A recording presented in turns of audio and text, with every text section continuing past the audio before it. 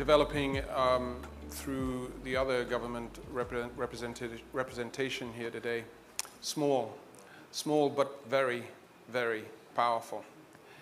And we're seeing that in our next uh, presentation, which will uh, be a video presentation from Dr. Miriam Dalli. Uh, Dr. Dalli is the Minister for the Environment, Energy and Enterprise for Malta. Um, not happy with just one portfolio or two, Maltese thought, let's give Dr. Dalli three portfolios. And what a job she's doing. Prior to taking uh, this uh, trinity, if you like, um, formerly it was, um, it, was, it was energy, environment, and sustainable development. So absolutely has packed this notion of longer term sustainable development thinking into the economy.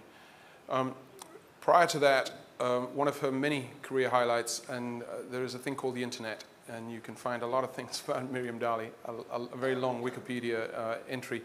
Uh, but one of her highlights was that she was also uh, a member of the European Parliament um, uh, up until, I think, 2015, uh, or, or, up until 2020, I believe.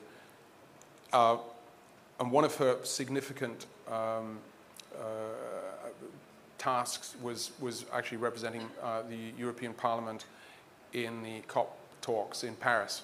Um, what a job the Europeans did. And I say all this with great envy, of course, because I used to be a European. I'm no longer a European, uh, but I crave to once again become a European. And so I, when I visited Malta recently, I was really taken by the power of such a small island, I really had a great time there, and so I'm very much looking forward to, to another visit. But without further ado, let's tune into this very powerful video from Dr. Miriam Dalli. Thank you.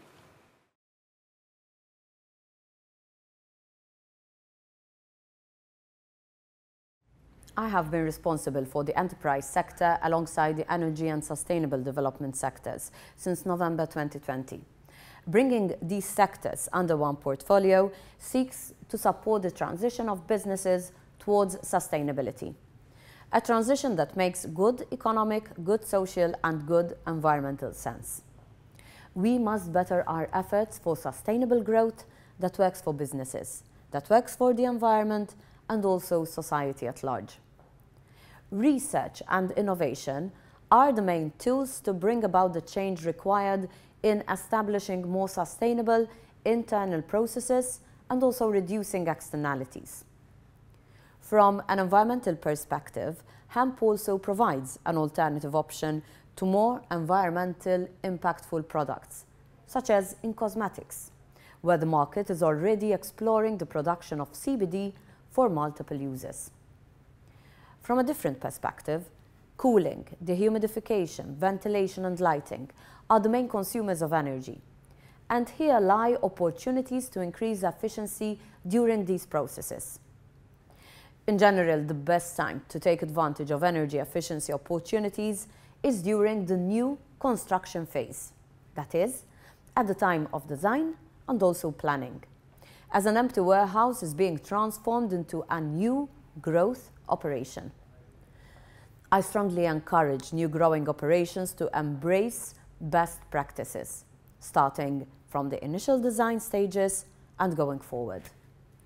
Although less common, existing growth operations can also find opportunities to perform cost-effective upgrades, which are more feasible for ongoing operations. And this is very much aligned with the government of Malta's vision towards achieving more energy efficient operations, reducing energy consumption, and also achieving climate neutrality by 2050. The Maltese government is working towards strengthening the capacity of entrepreneurial actors to innovate. And we're doing this by ensuring constant support through various incentives for the promotion and also expansion of the industry, and also the development of innovative enterprises. For instances, thanks to the various support schemes made available by Malta Enterprise, businesses in Malta are becoming more digital, they're becoming more sustainable, and also more competitive. And in so doing, we are ensuring that businesses are given the opportunity to enhance their operations and also increase sustainability. I take the opportunity to also mention this ministry's initiative to develop the Malta ESG scoreboard. This will help illustrate the ESG credentials of companies, in turn allowing investors to incorporate these credentials into their investment decision making. In 2018, Malta enacted legislation enabling the use of cannabis in the production of medical products and also research purposes. And today we have five fully licensed producers. And we have medical products which are manufactured in Malta and which are already on our pharmacy shelves. We have an important number of other projects, both in manufacturing as well as research. And they are setting up their activities to be licensed in Malta in the near future. Now, getting here has not been easy. It has been a steep learning curve. We had to face various challenges and also barriers along the way.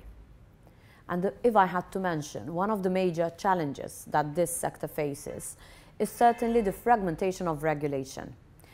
And not just between different regional blocks, but sometimes even between neighboring countries within the same region. This disharmony and lack of transparency in legislation, regulatory frameworks, and quality impedes and challenges the flow and supply chains. What constitutes a medical finished unit in one jurisdiction is a magistral formula in another. And CBD remains a grey market in most jurisdictions, and standards differ across borders even within the same regional bloc. So I believe that harmonization and clarity is a must for our companies and entrepreneurs, the healthcare profession, and also patients alike. Our journey has also been impacted by the COVID pandemic, which has affected the growth of the sector. The government in Malta has supported all its economic sectors through various measures to mitigate these challenges and to also support the financial viability of our businesses. The Malta Plant Medicine Week held last month in Malta was a testament to a renewed momentum and also impetus to grow the sector, following a two years which were very, very difficult. But another challenge remains, the availability of institutional funding. Provision of banking services and financing is a challenge on an international scale. Companies in this sector, especially startups, have to rely on private investment whilst access to institutional finance remains almost impossible to achieve. The SAFE Banking Act, enacted in April last year in the US, is definitely a step in the right direction, which hopefully induces similar action within other regions. We have also witnessed progress from the London Stock Exchange, when it allowed, for example, the listing of three medical cannabis outfits in September 2021, one of which, namely MGC Pharma, has a manufacturing presence in Malta. Meanwhile, we continue to see more countries moving towards regularization of cannabis across all its aspects, including adult use and also descheduling of CBD, of which Malta is a pioneer. I am certain that as more jurisdictions embrace these trends, improve patient accessibility to cannabis, as well as take steps towards the decriminalization of adult use will have a positive effect on the viability and also the long-term sustainability of this sector. Thank you. It's wonderful. Uh, thank you very much for the applause. And with the doors open, Miriam may well have heard that applause. So thank you ever so much for that.